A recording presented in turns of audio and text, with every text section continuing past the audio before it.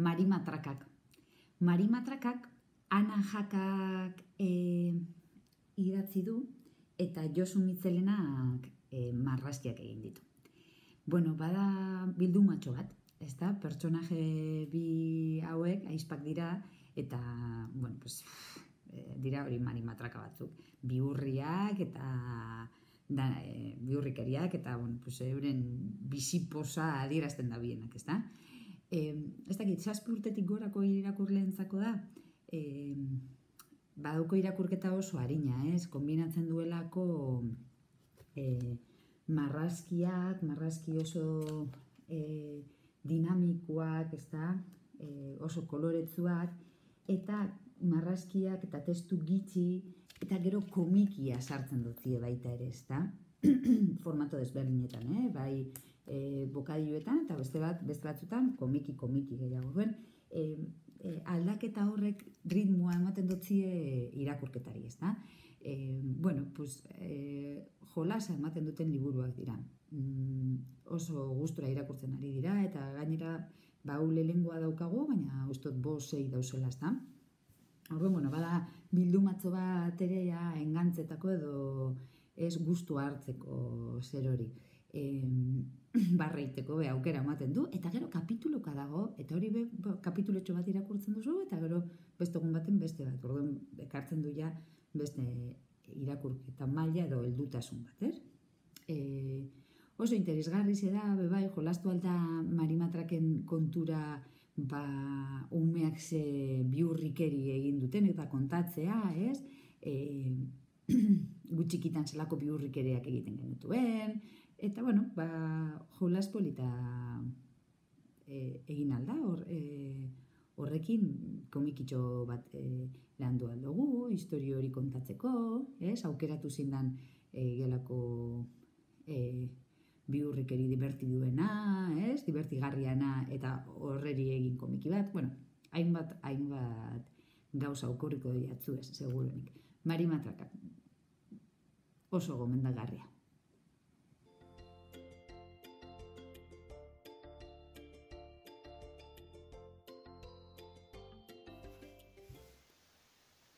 Grigor eta Erlea. Grigor eta Erlea ipuin bilduma bada. Bertan lau ipuin topatuko dituzue. Danak ere protagonista Grigor dutenak. Eta nor da Grigor? Bueno, Juan Krozi irabidek asmatu zuen Grigor. Eta da Jonas bere beste asmakizun literarioaren jarraipen naturala. Grigorrek adinean Jonas jarraitzen du eta bizipenetan ere Jonas jarraitzen du. Jakina, Jonasek literatura mota bat behar zuen, Grigorrek beste bat dauka. Grigorren ipuinak orain batera baldin baditugu ere, hasiera batean, orain dela bi hamarka da, aleka aleka atera ziren. Denera bostare. Eta bakarrik atera ziren horretan, euren izena zan euren liburuaren izenburu egunez parke batean, eta gero, azpi izenburu bezala, Grigor eta Erlearen ipuinak. Gau ez zo batean, bigarrengoa, eta azpian Grigor eta Erlearen ipuinak. Hirugarna demoraldi bat ospitalean. Laugarna oporraldi bat baserrian. Eta bosgarrena maixu berria. Hain zuzen ere, bilduma honetan lehenengo lauak daude, maixu berria ez dago. Zergatik, arrazoiak edukiko zituen Juan Cruzek horretarako zior naiz. Kontua da lau ipuin hauek, esan dudan bezala, Jonasen jarraipena direla. Eta aurkitzen dugu ume bat, lehenengo abenturan, Grigor izeneko ume bat, oraindik fantasiaren eta errealitatearen arteko muga ongi izendatu gabe daukana bere baita. Oraindikan erlearekin hitz egiten du, de hecho bere lagunik onena erlea da, eta parkeko animaliekin abentura zirrara garriak bizi ditu. Liburu hauek, bai, denak ere, bai, kasu honetan hemen lau liburu hauek esan nahi dut, bai, daude kapitulotan atalka banatuta. Lehenengo abentura honetan, adibidez, eh, egunez parke batean, bederatzi ataletan banatuta dago. Eta atal bakoitzean, nolabait ere, ekinaldi bat dago. Orduan, ja ikusten zaio asmoa, ezta? Esan genezake, lehenengo abentura egunez parke baten eta bigarna gau ezo batean belarritik irakurtzeko direla. Heldu batek, edo bitartikari batek aurrari. Eta aldiz, ikusiko dugun bezala, Grigorrek adinean gora egin ahala gerta daiteke irakurraldi horiek autonomoak bihurtzea. Eta dagoeneko, ba, irugarren mailan dagoen aur batek, bai, ba, oporraldi bat baserrian irakurtzea edo demoraldi bat ospitalean, bai? Zer gehiago esango dugu? Bueno, ba esango dugu atalka banatuta egote horrek asko erresten dula irakurketa zein entzunketa.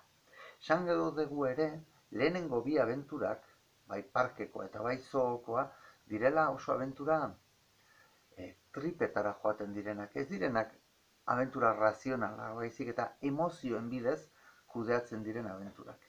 Lehenengo honetan esan dizuet, Grigor parkeko animaliekin izketan ari da. Eta bigarrenean, gau ez zogo batean, are eta simbolikoagoa dena, arketipoen bidez kontatuta dago.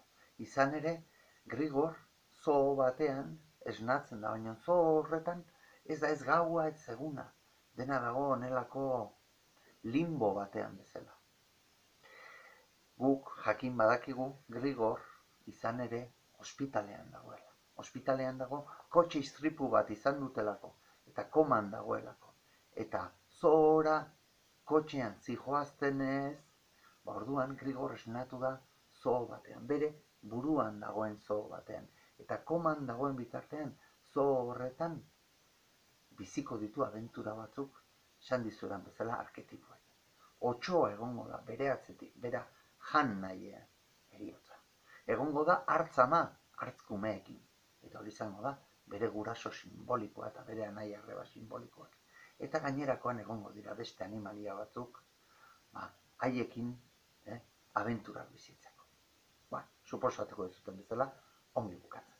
Eta Grigor esnatzen denean hirugarren abentura zen da, segidakoa, demoraldi bat ospitalean, Eta hor, Gregorrek dagoeneko ja, erlearekin baino lagun batekin, ospitalean egiten du lagun batekin, ainoa deitzen den lagun batekin, eukitzen ditu abenturak.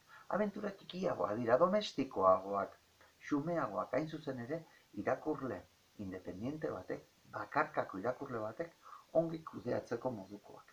Eta gainera, esan dizuet, eh?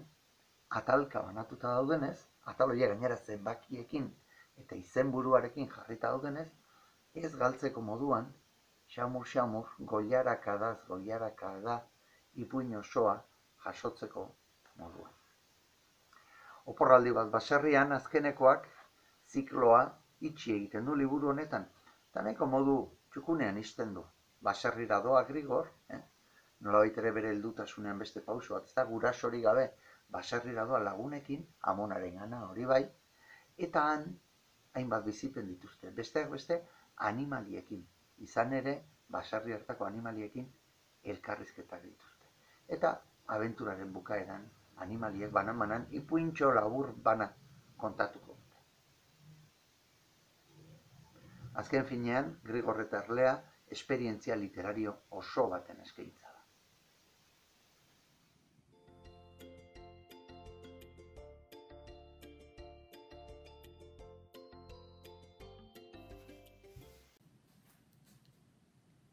Emilik igeltzua nahi du. Emilik igeltzua nahi du, bilduma baten barruan dagoen liburua da. E, asko ezagutuko dozue, eite ben dagoen telesaila, ez da? Umeentzako kontakizunak eta ipuin kontaketak egiten dituztenak. A ber. Zuaitzeitzeko historioak, ez da? Bertan liburu hau kontatuta entzuna izango dozue, eta uste dugu balia bideo oso ona izen aldala bai eskolan jartzeko edo konpartitzeko. E, bueno, ipuintxo honetan ez da kontatzen historio bat. Kontatzen da, ba, ume Emilin, e, bueno, hausnarketa, berak igeltzo bat nahi duela. Claro, ume asko moduan, ez da, mm, igeltzo bat eukitea, emoten dutzu olako hmm, eroia. Zerbait, abentura bat izan duzu. Mm, lagun guztiak adi egongo dira zurei geltzoan e, sinatu nahiko dute. Eta, bueno, pues horren bila da bil, ezta? Gure Emilik. Marraskiak asko laguntzen dute, e, fondo zurian eta oso garbiak dira, orduan, bueno, ba, e, testo gitzi daukan liburutsua da, eta eta marraskiak oso dinamikoak dira.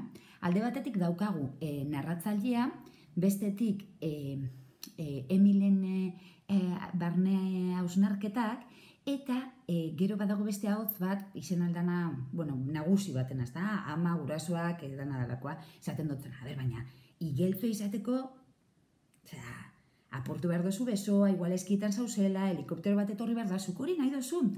Bueno, ez, ez, ez, baina, klaro, guztuko izatena da, igeltzoa daukitea, eta lagun guztiak etortean ikustera, eta horrela ez da, orduan, klaro, hori izto nahi, bueno, ba, berdin doz, ba, tirita bat eukingo naben, ez da, esaten dago. Baina, bueno, klaro, beste hau esaten dio, tirita bat e, pinteko ben, mina hundi hartu behar dozu. E, ja, bueno, bueno, bueno. Eta, bueno, orduan, ordua, ez, aventura hori kontakizuna horra aurrera doa, e, or, lagunduta marraskiekin, marraskiak oso dinamikoak dira. Orduan, lehen irakurlentzako oso libura proposa izan alda. Ba, oso erraz irakurtzen dalako eta marrazkiak asko laguntzen dutelako. Bueno, ba, kontak historioa aurrera doala, ba, ba, oize, e, e, Emili desesperatuta dago, ze oso nahi du, pirata izatea, berdin dutzo, bera, aventura salea da, eta espertuta dago, eta orduan, hau horrek esaten dio, ai, mesedez, parau zaitez ja, sofan, eta egon tranquil pizka baten, ikusi ezazuzte tele, telebista, ez? Akontu zibili, askotan esaten dut, azkenean horra hori, goten bazara, jauz egin gozarela. Eta esan, eta klaro, jauz egiten da, ez? Eta, bueno, ba, orduen, e, koskorra egiten du buruan, eta orduen esaten du, bueno, bueno, balitekea e, aventuraren hasiera izatea, ez? Da, bueno, horrela bukatzen da. Espero dut, eh, bueno, daukasen baliabideekin erabilgarri izatea, bai bideo daukalako, bai lehen irakurlentzako edo haus golan irakurtzeko liburu atzegine izan aldalako.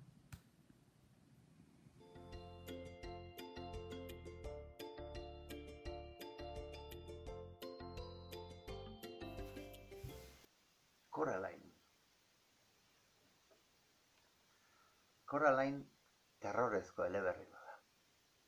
Terrore biguina deituko digun eleberria, baina alaxe da. Agien ezagutuko dezute Koralainen munduak deitzen den marrazki bizigunetako filma. Horrela bada, badakizute zein den liburu hau. Historia han eta hemen oso antzekoa da. Pelikula egiteko bere egileak Neil, Neil Gaimanek parte hartu zuen eta ezagundu oso ongi egina dago. Baina gatozen liburu. Neil Gaimanek itzau, itzaurrean aitortzen duenez, liburu hau idatzi zuen bere alabarentzat, bere alaba zaharrenarentzat, eta idazten ari zala, joan egin zitzaion aria, eta gerora berreskuratu zuen bere alaba gazteenarekin. Eta honela, tarte horretan, koralain. Berak ez zuen koralain gainera idatzi nahi, karolain baizik. Baina izki traba bat, izki atzera aurrera jolas bat gertatu zen, eta koralen izen asmatu zen. Eta zer da koralen? Koralen da neskato baten historioa. Neskato hau bere gurasoekin badoa, etxe berri bat dira.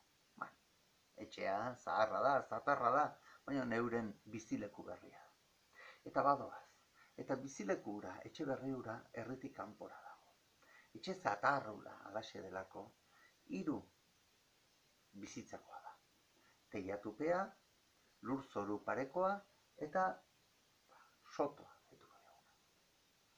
Teiatupean bizita gizon edadetu bat. Garai batean behiala zirkoan ebilitakoa. Puruti pixka bat joana dago. Errusia. Sotoan bizitira bi emakume. Hauek ere kabaretera edo antzeko farandula emakumeak orain ere euren arpegia makillatzen dutenak esagerazioarekin eta txakurtxiki pilo bat dituztenak. Pisu saia ere ugaria izaten da soto hartan. Eta gure koralain eta bere gurasoak lehen mai horretan, zoruparean dagoen horretan, hartu dute eraikinaren erdia. Beste erdia utxik dago. Beste bizitza bada, inor bizi ez dela. Eta gure koralain eta bere familia udaran iritsi dira eskola oraindik hasi gabeko garaian. Eta bertan jarriko dira bizitzen eta gurasoak aurrera eta atzera ibiliko dira, baina gure koralain inguruak ezagutzen gutxitan joango da herrira egia esan ez dauka lagunik orain. Eskola noiz hasiko zain dago lagunak egiteko. Eta etxe horretan badaude hainbat gauza, besteak beste egon gela. Eta egon gelan trasteak izebak oparitutako eh, altzariak eta ukitu ezin diren gauza asko daudenez, egon gelara debekatuta dago batea. Baino egon gelen dago ate bat, hain zuzen ere ate bat, ondoko etxera, utxi dagoen etxera ematen. Ate hori itxita dago. Ate horretatik ezin da inora joan, baina ate hori tarteka ireki egiten da. Horra hor. Misterioa eta. Ez dizut gehiago kontatuko, nik uste honekin nahiko esan dudala. Bikain kitzulia dago eta errex irakurtzen da. Nik arnaz bakarren irakurri. Bide batez esan da. Neil Gaiman ospetsuaren beste liburu bat ere badego euskeraz. Otsoak hormetan. Hau ere beldurrezko.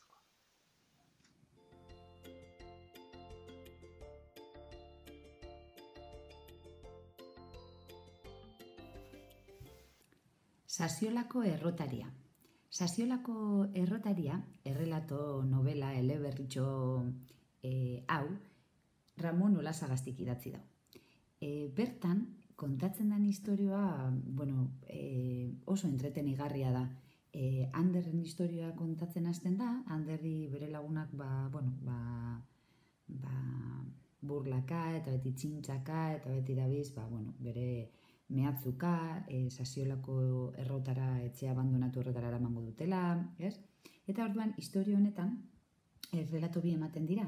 Historio bi ematen dira, e, e, Anderren historioa kontatzen den bitartean, baita ere, e, plano temporal desberdin batean kontatzen da e, bueno, ba, gazte kuadrilla horren e, aikitamonan e, beste historio bat. Eta historio horretan baita ere, ba, bueno, mutiko bateri, e, bueno, ba, zeo zer gertatzen da, jako, baina, bueno, misterio hori argitu egin behar da, ezta? E, historioa aurrera joanala, ba, e, argitzen joango da misterio hori, eta baita ere, e, badago, bueno, ba, etxe abandonatu horren inguruan, eta mehatzu moduan funtzionatzen duena gazteentzako, ba, gazteak, ba, irrika daukate, bueno, jakiteko zer gertatzen da, osea, azken aspaldian etxe horretan kea agertzen ari da, pentsatzen dute baten bat bizi dela, Eta, bueno, ba horro sortzen da olako e, e, intriga novela bat, e, benetan gustu handiz irakurtzen dana, eta e, engantzetan da, bueno. Eh? E, marrazkiak egin dizkio Xavier, Xavier Sagastak, eta oso ondo funtzionatzen du. Novela honetan, ze Sagastak egin duen lana oso lagungarria da. E, gaur eguneko historioak mm, kolorezko, kolorezko ilustrazioak dira, eta aikit jamunane historiak, beste belaunaldi horretakoak, ba, zuri baditzean e, e, margotzen ditu. ditu.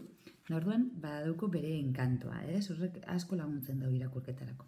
Bueno, ba, nire aldetik gomendatzea benetan e, historio hau ze, bueno, egia da e, fondoan badaukala bullyingaren, e, naiz eta ipuin e, historioan errelatuan ez da aipatzen hitz hori, ez da erabiltzen, baina badago, ez?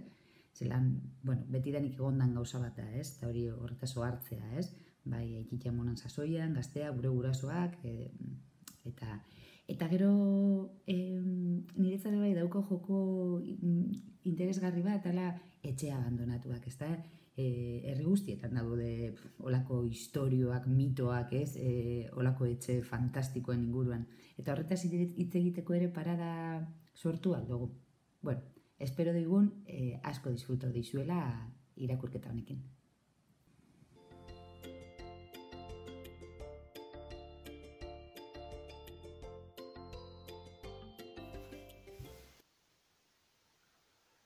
Sinbat deitzen zidan Francisco Castrok Galiziarrak idatzitako liburua da, intrigazko abentura bat da, protagonista mutiko bat duena, eta gure protagonistak egin beharko dio aurre misterio handi bat. Zergatik bere aitonak aipatzen du gizon bat gurasoak aipatu nahi ez dutena. Suposatzen da aitona pixka bat joan da dagoela, altzeimerra dauka, naiz eta gure protagonista jakinez. Eta aitonak esaten ditun gauzak broman hartu behar direla. Baina gurasoak asko asarretzen dira, gure aitonak aipatzen duenean delako hori. Eta nor izango den jakiteari ekiten dio protagonistak. Hortxe intrigazko aventura eta hortxe ba, gai soziala, ez da? Zaharrak eta altzeimerra. Liburu hau, irakurle aurreratu entzako den liburu hau, e, ibiren, e, ibi badakizute, da galtza horri bezala, baina nazioa arte maiako, ez da? Ibiren e, ohorezko zerrendetan dago. Horrek esan du dela liburu bat, ongi irakurri, ongi aztertu eta aukeratu dena onenen artean jartzeko. Merezi.